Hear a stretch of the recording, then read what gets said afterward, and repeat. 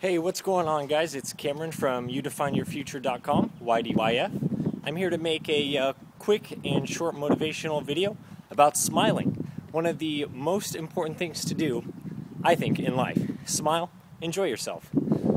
Um, first of all, this whole idea came about through one of my good friends, Cynthia. She's always smiling, always happy, and uh, I was wondering why.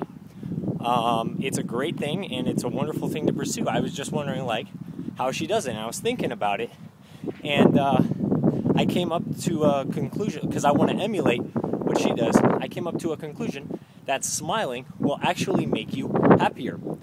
I was doing a little bit of research uh, not too long ago with my psychology class and some other inspirational videos and stuff. And they came across a, a study where if you smile, it will affect your subconscious and it'll make you feel happier. It's a crazy idea, crazy thought, but it actually works. So I encourage you to smile. Another thing is, you never know if smiling will make somebody's day better.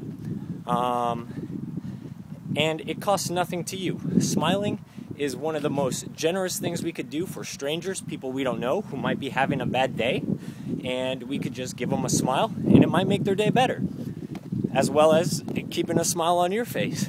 It doesn't cost anything, and you might make someone's day because you never know what they go through, you never know what they're dealing with, but it's something that could help them and you. I think smiling is a pretty wonderful thing to do. I think it's altruistic, etc. So I encourage you all to smile. That's it. Have a nice day.